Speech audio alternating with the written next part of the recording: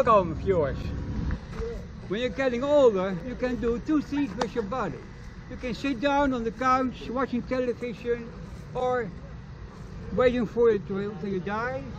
Or you can do something in your body, like sports. Doesn't matter what you're doing, basketball, football, running. In my case, free running parkour. It's the Aura nigga bubble West class.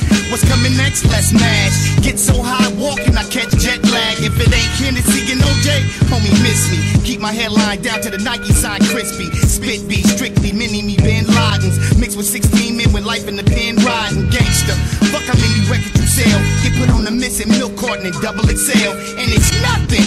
Let's double the dare. Dick so deep down your bitch mouth, I come in hair. Guns and ones in the air. Niggas shooting. Posted on low rider bikes. Cat named Russell Simmons, God bless it, good night. You done fucked up like Crip walking by Suge Knight. That's what happens when you reach for what you can't feel. Sabitha. Wild golden child. Come on, come on, yo. Ask the crew if I'm nice. They all stay true.